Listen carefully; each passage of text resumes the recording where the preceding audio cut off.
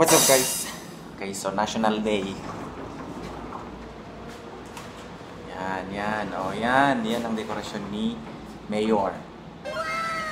Okay. so, may papa-challenge ako sa mga nurse ngayon. Okay? So, papanoorin niyo. What's up guys? Okay, so tatanungin ko yung mga nurse dito sa ano yung mga ano yung trending ngayon. Okay, ito sila.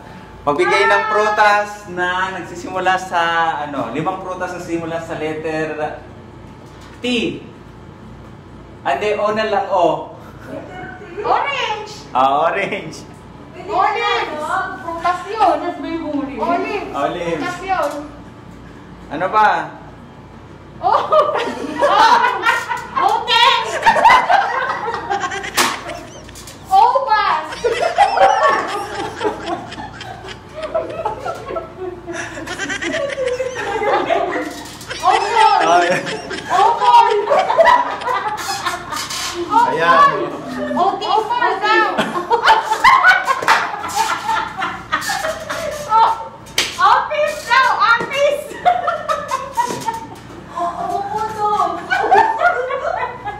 Ano, orange.